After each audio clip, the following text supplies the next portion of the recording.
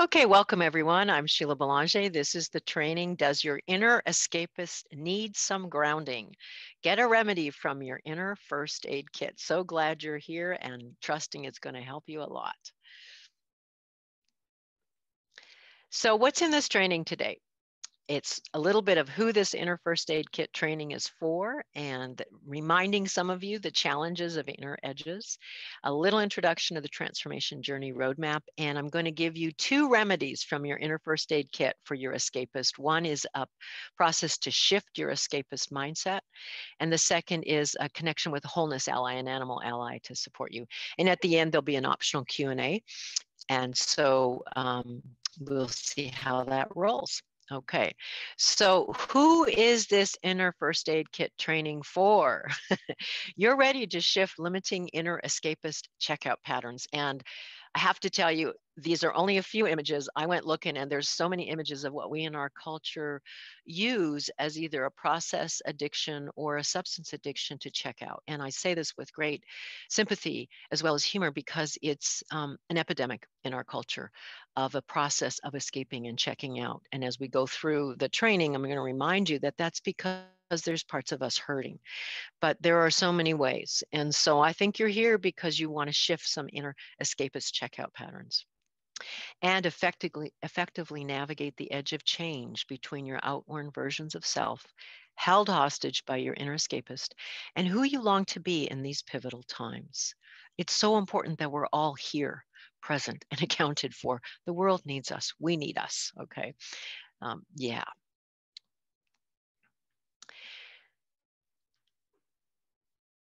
Okay, so when you're at the edge of inner changes, your sensitive nature can feel stuck and overwhelmed. Just, wow, just over overwhelmed. Now, we know inner edges are challenging. At these edges, you know that your old life and identities are over, but you do not yet know who you are or be becoming, nor where you're going. At the edge of interchanges, your inner escapist can sabotage your ability to go forward with evasion moves happen to have an example here, but pick up anything, the process, the addiction, whatever it needs to be, um, you know, it's there. So this might look a little familiar. Your, your character might have something else that it uses to evade, but I think we all have some kind of character that's going to let us try to evade.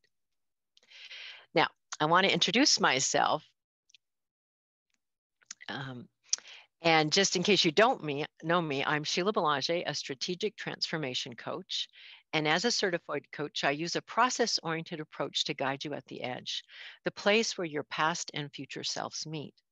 For over 36 years, I've effectively translated mindset shifting inner work practices into life changing ways for thousands of clients. And some on this live training are in my private membership group called Vibes, and they can attest they've had some kick ass changes in their life as they've had the courage to apply the inner practices that we've been sharing together. I love doing this work. I want to free my people. Okay. so you need a map to help you navigate unfamiliar inner territory so you can break your inner escapist spells and be free to move forward. Now, here's my signature transformation journey roadmap. It's a guide to navigate your edges of changes, and it's six stages that are so um, powerful to move through, so powerful to move through in terms of doing your inner work and your transformational work. And I'm sorry, I got to mute everybody. Okay, there we go. We're just going to bring some extra folks into our gathering here. Okay, it happens. Hello. So, and the transformation journey roadmap, you really work through these different stages. And I'm going to pinpoint two as an example in this training today, working with the inner escapist and remedies for the inner escapist. So, in case you want more information about the roadmap, you can go to my YouTube channel called Transformation Journey Roadmap. Just put that in, search in YouTube, Transformation Journey Roadmap. And one of the videos is Get a Transformation Roadmap. And in it, I talk about all six stages and the journey with it. So, uh, I'm going to just go. You also need an inner first aid kit to help remedy your inner escapist evasion mindset that's holding you hostage. So, so important. Now, two remedies I'm going to offer you from your inner first aid kit today is remedy number one, a process to make attitude adjustments, and remedy number two, a way to steward your sensitivities. And more on that is coming. Now, you're more than you think you are, really. You, you know that deep in your belly. You carry many selves within you. There's a whole guest house inside, all kinds of inner characters, okay? we know that. It's like, wow, it's it's a full house in here, okay? And you have wounded as well as wholeness inner figures. And most of your dominant wounded inner figures are often habitual and rooted in your adaptive childhood survival strategies. And we all have some version of this. And it's not any kind of criticism of our families. It's like it's how we get enculturated in the society. You do this, you don't do this. These parts of you are fine and welcome at the table. Ah, we don't want to see that part of you. So we learn to be a good kid, a good girl, a good boy, etc. And our dominant wounded inner figures are there to keep us in line because they believe that their job is to protect you by keeping you small, safe, and invisible so that you socially belong. They are what I call your limiting protectors. They're trying to protect you, and that's a good thing, but they're doing it in such a way that's caging you and making you small. And you know what? Most of the time, you don't need their protection anymore. It's way past the shelf life, it's expired on that one. Now, one of the things I'm going to reference right now, very briefly, and you can certainly go and do more research with it, is a book called Bill Plotkin called The Wild Mind A Field Guide to the Human Psyche. And in it, he talks about four different wholeness parts of ourselves, wholeness allies, I call them, and four different wounded parts or fragmented parts. And his nature based map of the psyche is really beautiful. It's based on the four directions, it's very nature based. And Bill talks about their four dominant strong wholeness allies in us and four wounded parts or fragmented ones. I'm going to show them to you really briefly and we're going to uh, go after the escapist, okay? So in this book, Joanna Macy has a little quote about it. Through the nature based map of the psyche, we can find not only our powers of leadership, joy, sensuality, and renewal, but also the dragons of self deception, whose energies we can liberate for the healing of our world. Yeah. So the wholeness allies, from Bill's point of view, they're innate psychological resources in an individual that we carry. We all carry them. And there's more than four, but there's four strong ones. And the trouble is we haven't cultivated them because we often get overwhelmed by our wounded side that we forget we have wholeness in us and we want to cultivate that. So here's very briefly the four um, wholeness allies from that map, that uh, wild mind map. In the east is the sage innocent. It's like the sunrise of spring and, uh, and spring and the sort of opening up to awareness. The South is the wild, he calls it the wild indigenous one. I like to call it the wild embodied one because it's problematic sometimes, a white person using indigenous as language. So the wild embodied one, that's the one in you that is in your body, is in touch with your feelings and whatever they are. And it's like you belong to the earth. This one knows you belong to the earth and you're in your body. The West wholeness ally, he calls the muse beloved. It's the one of you that longs for the mysteries and the dreaming and is really interested in transformation and shedding old skins. It's very sunset fall, autumn. Okay, very mysterious, powerful part of ourselves. The North, he calls the generative and nurturing adult. It's a strong, grounded, mature, life giving part of ourselves. And we have all of these in us. So those are the four wholeness allies. And then he talks, Bill talks about the four fragmented ones. These are wounded parts of ourselves. And he calls them subpersonalities also. But here's a definition, and you might resonate with this, okay? The wounded and sometimes hidden fragments of our human psyche. They form in childhood with the enduring purpose of protecting us from physical, psychological, and social harm. They are the source or instigators of our psychological symptoms and illnesses and we all have them and there's a, a, place of just deep compassion because it's part of being human we have these very uh, these strong suffering ones in us and, as well as our wholeness now here's the four that he has in the map um, in the directions and again i'm just going to briefly uh, show them to you I'm also taking a moment here to, these are the wounded ones. In the North, we have what Bill calls the loyal soldier or the lion tamer. This is the inner critic, basically, who's always trying to keep us small and watching over us and just really tight assed. And then in the East, he has the addict and the escapist. We're checking out in whatever way, we're just escaping. And we're going to spend more time honoring this one and giving some remedies for this one. In the South, we have the wounded children, the place where our deep pain and suffering as kids is still living inside of us. And in the West, we have what's called the shadow and shadow selves. And these are the really mysterious, sometimes we call them the not me part of myself. That's not me, that's not me, but yet it is me. Okay. This is very brief. If you want to look more at this, you can go to the Wild Mind book and see um, from Bill's book, Wild Mind. So we're going to focus in on, on the East fragmented one, the addicts and the escapists. And Bill says they try to keep us safe through evasion, rising above traumatic emotions and circumstances, and sidestepping distressing challenges and responsibilities. Evading, I'm out of here. Okay, there's many ways to do it, but just checking out. Now, a bad attitude is like a flat tire. You can't go anywhere until you change it. And when we're caught in our escapist mindset, we can't get anywhere. We know that whether we either physically are caught because we're in a, a, substance addiction or we're energetically caught in a process addiction like screen addiction or um, some form of um, some form of process that we're caught in over and over and over again. Um, now we're going to look at stage two of the roadmap here where we make attitude adjustments. You make key mindset shifts to develop a visionary mindset. Visionary mindset is that much bigger awareness that you carry and we all carry.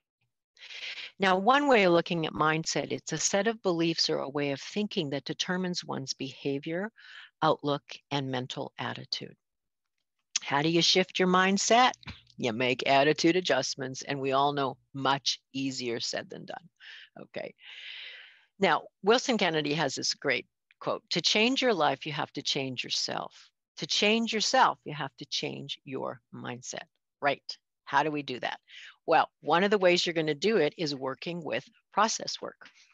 Now, I'm going to give you a brief introduction. To, this is process oriented psychology, and it offers you ways to explore your multidimensional nature.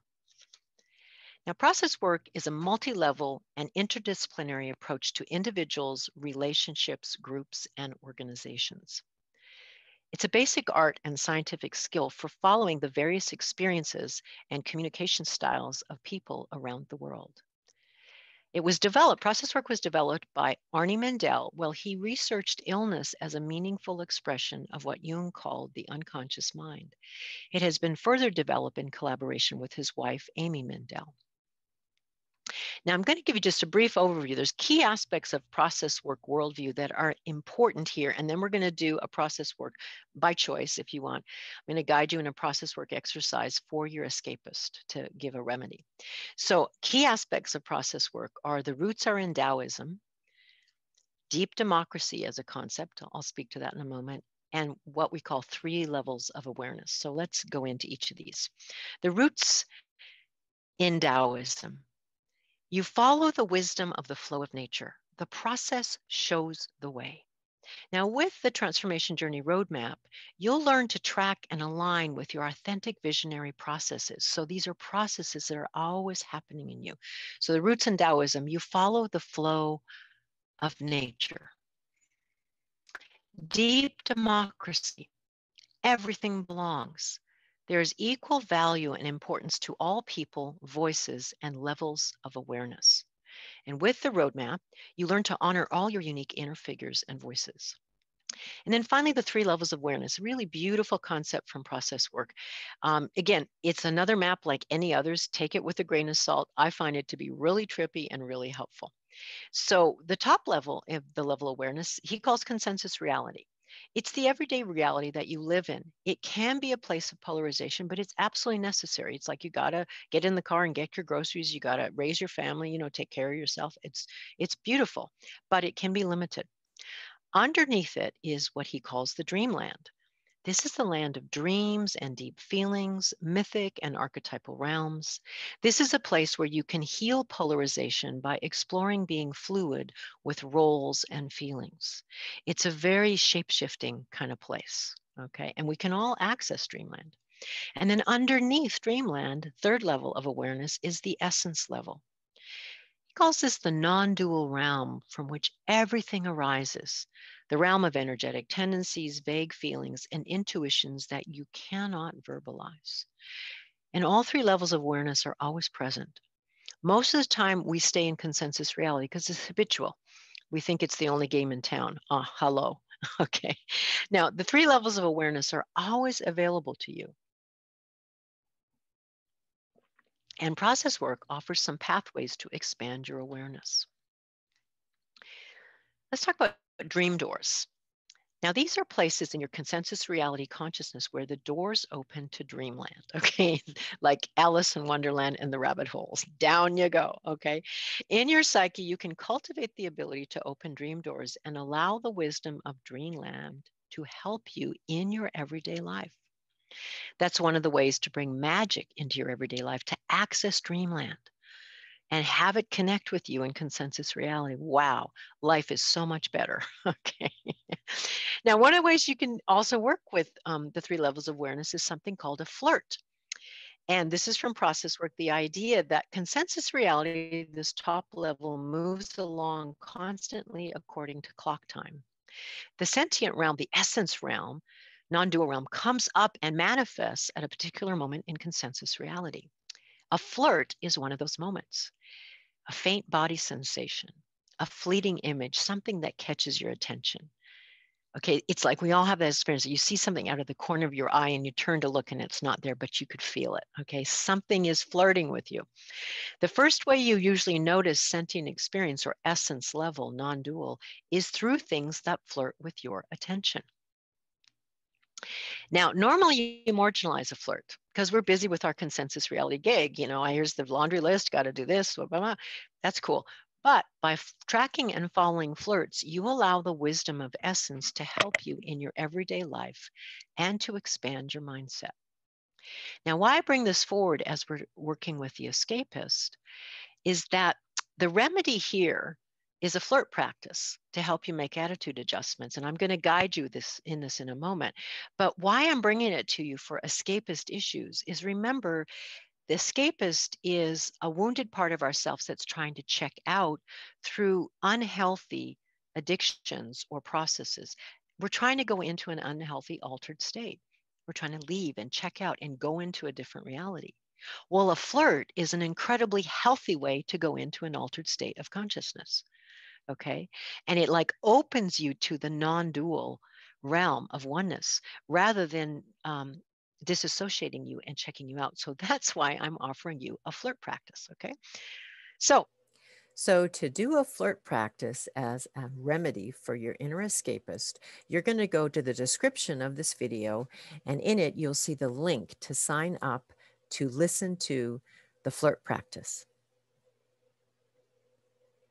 Before you do, I want to leave you with this quote from Werner Erhard. You and I possess within ourselves at every moment of our lives, under all circumstances, the power to transform the quality of our lives. So go to the description, click on the link to listen to the free guided flirt practice to support your inner escapist and get a remedy from your inner first aid kit. The link for the audio is in the description below.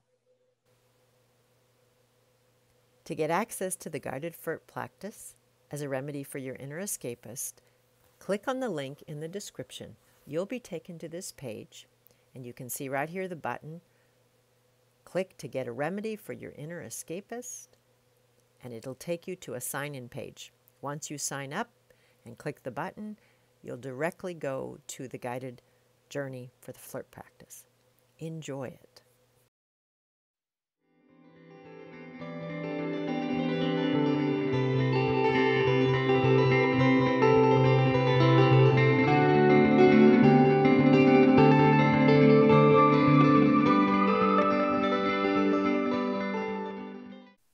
Thanks for watching this video.